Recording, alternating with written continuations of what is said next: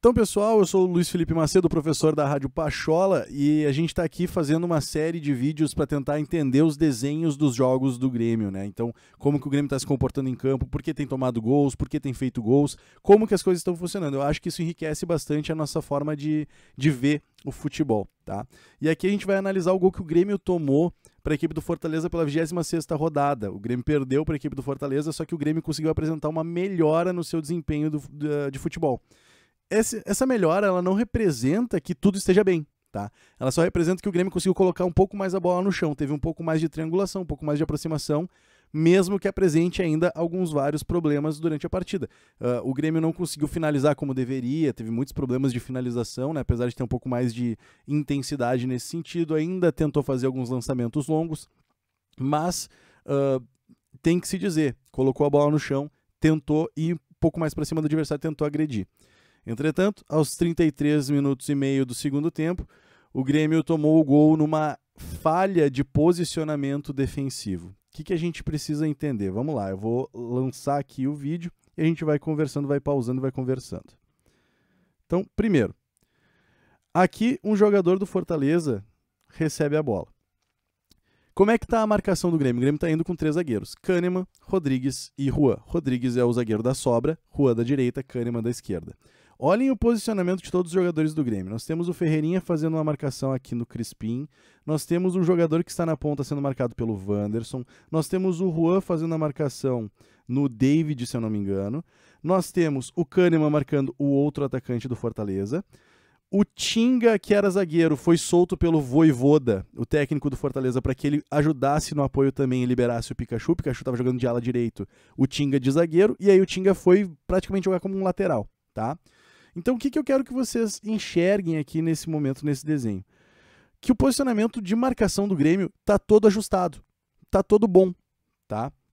O, o Wanderson tá marcando um, o Rua tá marcando o outro, o Kahneman tá marcando outro, o outro atacante, o Guedes tá marcando o Pikachu, o Guedes era o ala esquerdo do Grêmio, o Pikachu era o ala direito, então tá bem marcado. Nós temos o Everton Cardoso ajudando na marcação aqui, o Everton entrou como ponta esquerda, então ele foi lá e acompanhou a chegada do Tinga, então o Everton Cardoso tá fazendo bem a marcação, o Darlan tá na frente da área como um primeiro volante. O Sarará tá caçando a bola.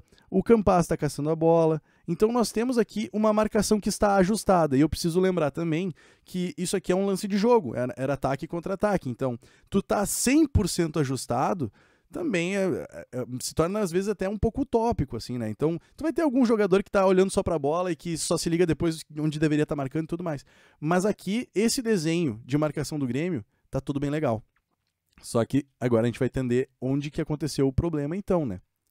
Olha só. Segue o lance, a bola chega no Romarinho. Aqui está o Romarinho da equipe do Fortaleza.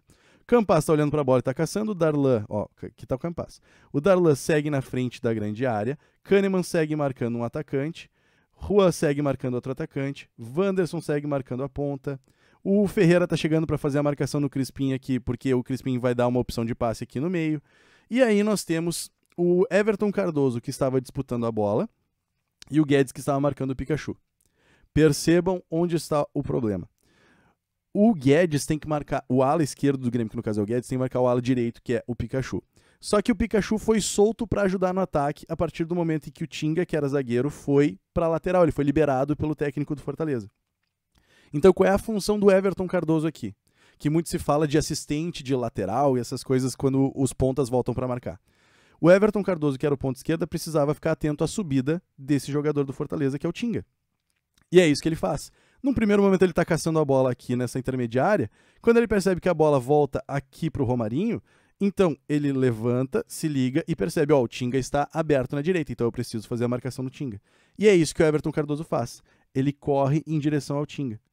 Só que o Guedes, que estava acompanhando o Pikachu, ele aparentemente desiste da marcação no Pikachu, que está aqui dentro da grande área, desiste dessa marcação e olha para o Tinga, porque nesse momento o Tinga está solto aqui nessa ponta direita. Só que não é do Guedes, é do Everton Cardoso. E quando o Everton Cardoso se liga, o Everton vai em direção ao Tinga, só que o Guedes também está indo em direção ao Tinga. Não deveria. Porque essa desistência do Guedes em acompanhar o Pikachu aqui dentro da área fez com que se criasse um buraco dentro da grande área e Uh, eu vi alguns torcedores falando: ah, mas o Rodrigues também não saiu, o Grêmio não fez a linha de impedimento. Gente, com três zagueiros não se faz linha de impedimento. O Rodrigues está bem posicionado porque ele precisa estar na sobra. Assim como o Rua está marcando, o Kahneman está marcando. É claro, o Grêmio poderia subir um pouco as linhas? Poderia. Mas num lance rápido de jogo, isso não é necessariamente um erro. Tá? Então o Rodrigues está fazendo o posicionamento correto, que é estar na sobra, para ir atrás da bola onde a bola for. Quando o Romarinho percebe o Pikachu pedindo bola aqui completamente sozinho, é exatamente o que o Romarinho faz. Aí tem o mérito também de visão de jogo do camisa 20 da equipe do Fortaleza, que faz o lançamento entre as linhas e encontra o Pikachu sozinho.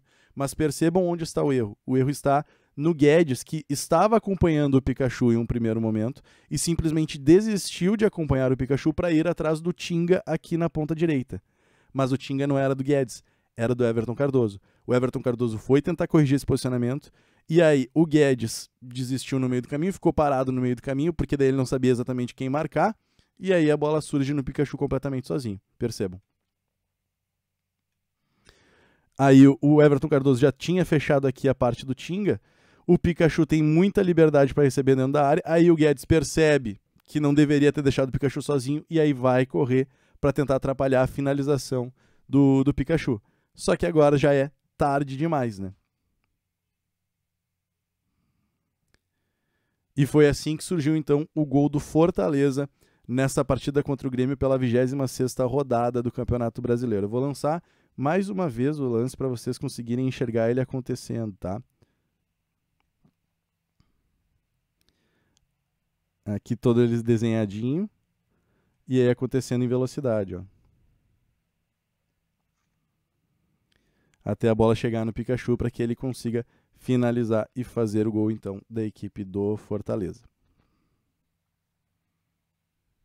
Então é isso, pessoal. Espero que vocês tenham gostado do desenho. Né? Acho que eu estou tentando simplificar aqui também na minha linguagem para vocês enxergarem o que está acontecendo ali dentro de campo também. De forma alguma, eu quero que vocês entendam que eu estou aqui queimando o Guedes. Não, eu estou fazendo um desenho e a gente está reconhecendo quem é que errou no posicionamento por ali. Aí, essas coisas de, ah, tal jogador serve, tal jogador não serve, aí isso eu vou deixar para vocês opinarem, fiquem à vontade, não quero mudar a opinião de ninguém. Mas o que aconteceu nesse desenho foi o que eu mostrei para vocês, tá? Infelizmente, o Grêmio tem urgência em sair dessa situação. Então, apesar de ter algumas melhoras, o Grêmio não pode mais se dar o luxo de vacilar nem na marcação, nem na hora de chegar na frente do goleiro e perder um gol. O Grêmio precisa urgentemente desses resultados e é isso que a gente espera agora com o novo técnico do time, o Wagner Mancini.